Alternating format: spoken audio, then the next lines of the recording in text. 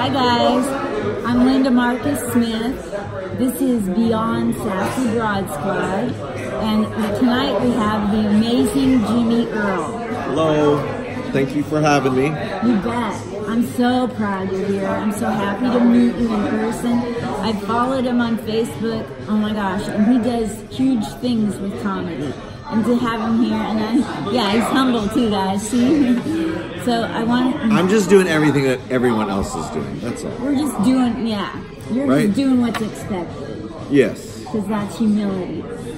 Yes. I'm just hustling, like grinding, like everyone else. I don't Yeah. think I'm doing anything special. But you're doing a lot. I see you doing. Aren't you opening for somebody huge, or you just did? Um, I work with a few, like, I, like everyone works for people. I'm Not me. You don't open here?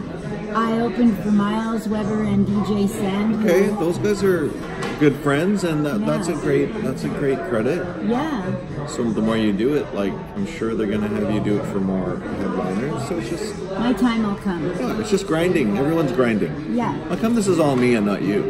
Because I don't really care. I was like, you're the important one. I don't want that, but but no, I, Who's I most humble? me. Oh, you lose. That's hilarious. no, because I don't think I've been doing anything special. I'm just doing what everyone else is doing. That's all. cool. Right. Yeah. You hail from what city in the world? Right now, I live in Sacramento.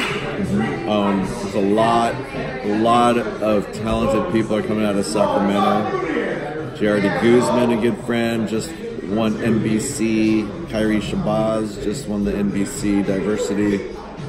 Um, Mikey Winfield, I think, has some Sacramento roots, and uh, it's just it's just a great comedy scene over there. Now, the thing I've noticed about Sacramento, we get some of them coming through here, like Right. Miles and DJ. Aren't they out of Sac? Um, I think Miles is more towards the Bay Area, but yeah, I I can you know we see him enough that I consider him as part of the Sacramento family. Sure. Yeah, Okay. yeah. Because I noticed that